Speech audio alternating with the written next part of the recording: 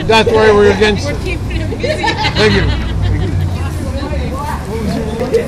Roger, Flutie. What are you guys gonna do now? Sound bites if you don't mind. Pardon? Can I use these sound bites for a piece if you don't mind? You may.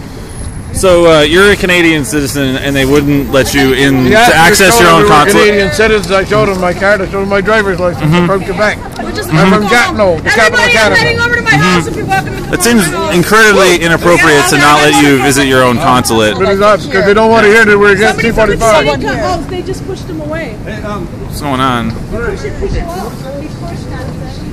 a public defender. and She said that, as far as she knows, that the Canadians should be able to enter and see the As a people in their public embassies. defender, I guess, that just got let in. Yeah. Hmm. By the way, these are the douchiest cops from Straight to the They're the usuals. Get over the border and